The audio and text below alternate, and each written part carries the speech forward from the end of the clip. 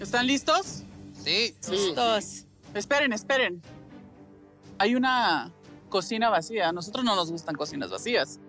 Que salga, por favor, la persona que va a ocupar el último lugar en esta cocina.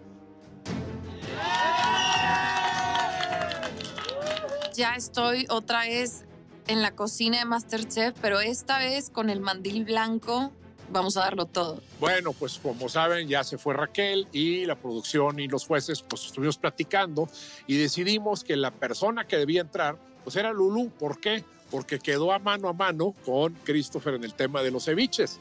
Entonces, pues era la segunda mejor cocinera y bienvenida.